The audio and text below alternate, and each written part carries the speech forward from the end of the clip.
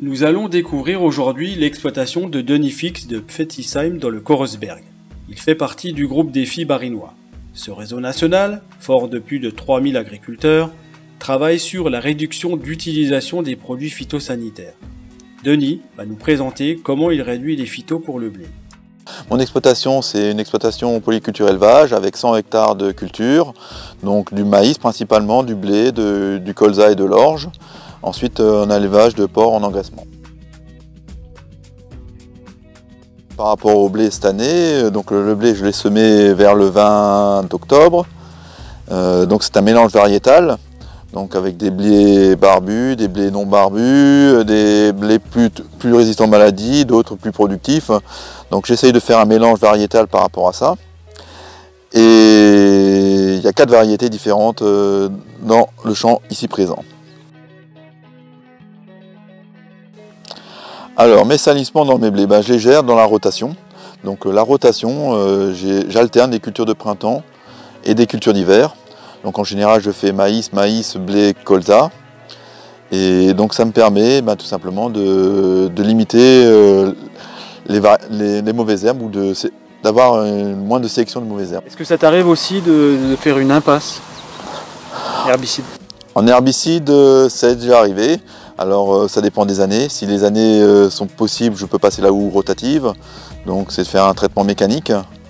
Euh, tout dépend du côté de l'état de, la parcelle, déjà l'année d'avant, souvent. Parce que l'année d'avant, il y je regarde l'état de la parcelle, si elle est propre, si elle n'est pas propre. Donc il y a deux, choses pour optimiser les, passages, donc un raccourcisseur qui me permet de limiter. Donc là je mets une demi-dose de produit, donc c'est du C5.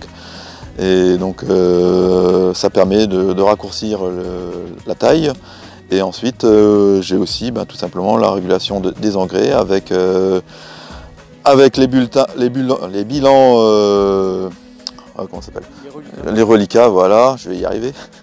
Les reliquats et puis euh, donc euh, je mets les analyses de sol, des analyses de reliquats et puis euh, tout simplement après je fais les calculs. En fonction des besoins de la plante, je mets ce qu'il faut au, bon moment et à la dose qu'il faut.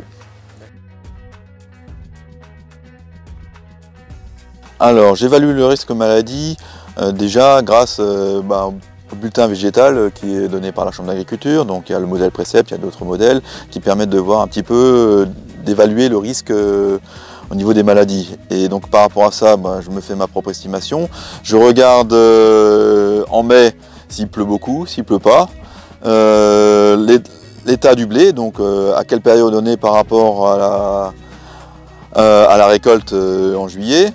Et donc en fonction de ça, ben, je décide ou pas de traiter. Donc si s'il y a peu de maladies en mois de mai, euh, il faut une semaine de pluie, une semaine de beau, une semaine de pluie, et puis que ça monte jusqu'à la dernière feuille. Ben, en fonction de ça, ben, on sait s'il faut traiter ou pas.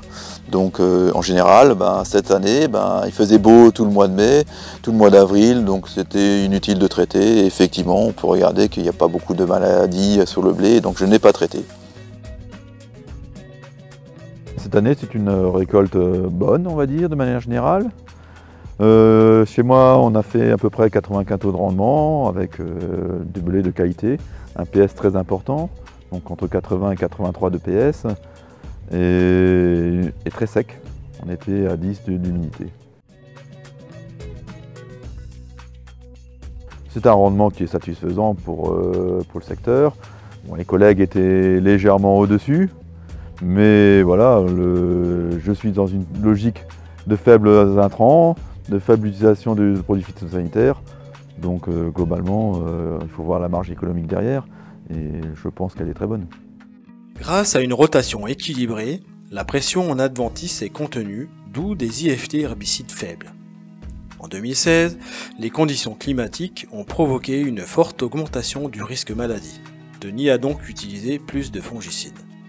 Le rendement, malgré tout, n'a pas été préservé, la pression maladie étant faible ces dernières années, l'impasse en fongicide peut être possible comme en 2020.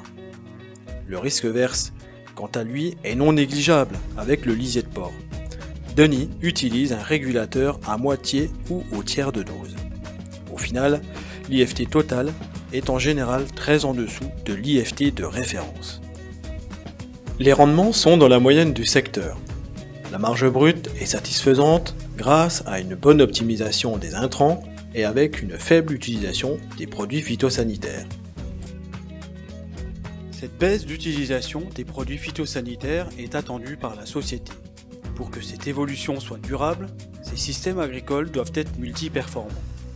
Grâce à ces groupes de fermes défis, nous pouvons mettre en œuvre de nouveaux systèmes de culture et mesurer leur performance.